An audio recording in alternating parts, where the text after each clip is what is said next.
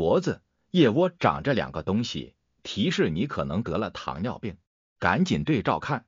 随住年岁的增长，张阿姨发现脖子和腋下开始出现一些小小的肉粒，起初以为是普通的老年痣，没放在心上。但是这些小肉粒越来越多，颜色也逐渐加深。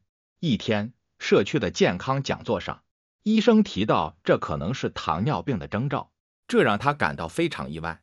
张阿姨这才意识到，皮肤的这些变化可能隐藏着健康的警报。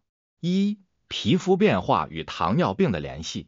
皮肤作为人体最大的器官，不仅仅是身体的外在包装，更多的时候，它像是一面镜子，映射出身体内部的健康状况。糖尿病作为一种内分泌疾病，其初期往往不易被察觉。但皮肤的某些变化却可能是窥见这一病症的窗口。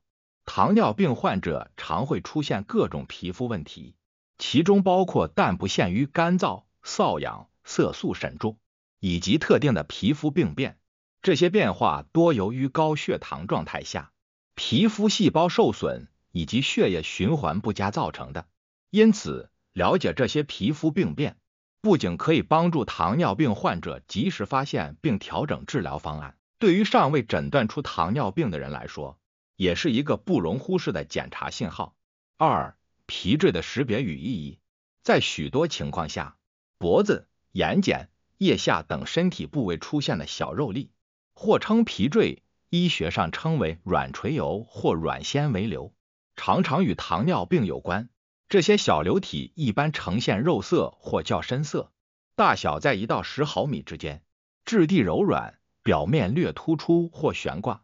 皮赘的形成与体内的糖代谢受损有直接关系。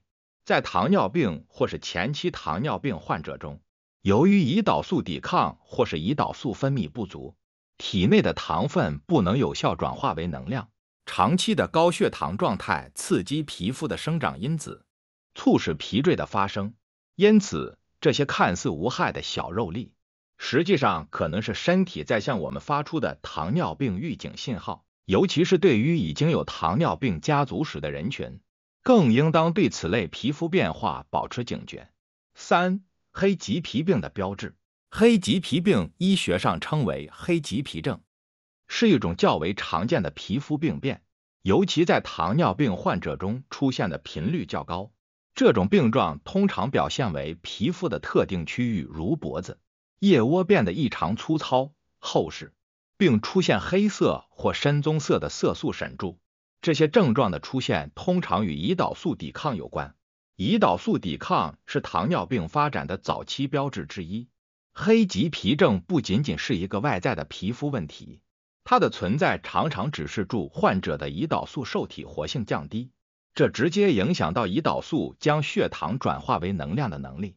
研究表明，黑棘皮症的出现往往预示着血糖管理的必要性，对糖尿病的早期诊断具有重要意义。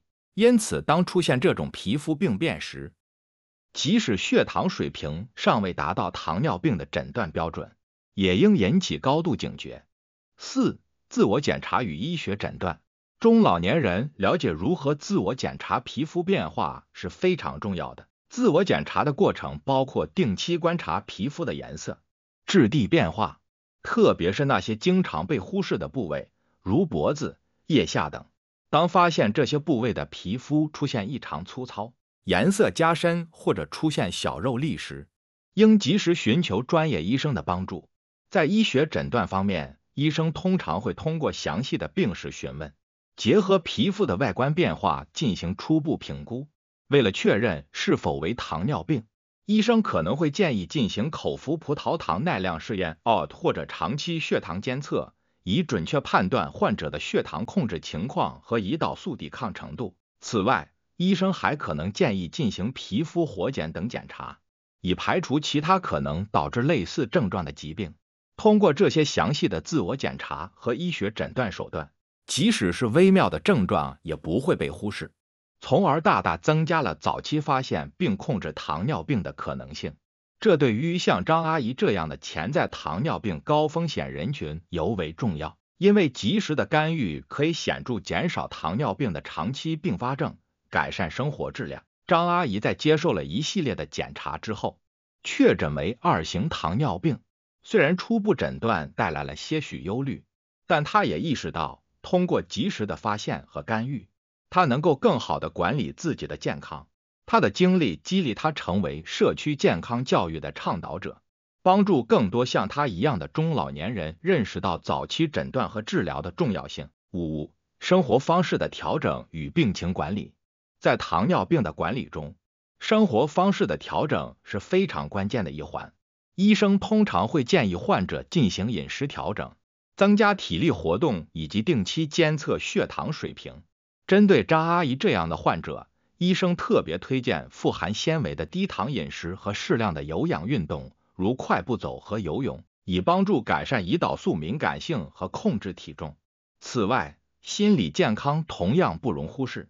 糖尿病的诊断和长期管理可能给患者带来心理压力，因此建议患者参与支持小组或心理咨询，以提高应对疾病的心理韧性。社区中的支持小组和活动可以为患者提供交流经验的平台，同时减轻心理负担，增强对抗病痛的信心。六、医疗干预和未来的治疗方向。医疗干预是糖尿病管理中的另一个重要方面。随着医学研究的不断进步，治疗糖尿病的方法也在不断革新。当前，除了传统的口服药物和胰岛素注射之外，还包括了一些新型药物，如 GOP 受体激动剂。这些药物能够在控制血糖的同时，帮助患者管理体重，并减少心血管事件的风险。科技的进步也为糖尿病患者带来了新的监测和治疗工具，例如。连续血糖监测系统 CGIS 和胰岛素泵已经成为帮助患者更精准的管理病情的重要工具。未来的治疗方法可能会更加个性化和自动化，包括通过基因编辑技术和干细胞疗法，为糖尿病患者提供根治的可能。皮肤的微妙变化往往不仅仅是表皮问题，而可能是更深层次健康问题的警示。通过提早识别这些征兆。采取适当的生活方式调整和医疗措施，糖尿病患者可以有效的管理自己的健康状况，减少并发症的发生。随着科技的进步和医疗手段的革新，未来对于糖尿病的治疗将更加有效和精准。社区和医疗机构应当继续加强对糖尿病的宣传和预防工作，提高公众对于糖尿病的认识和重视程度。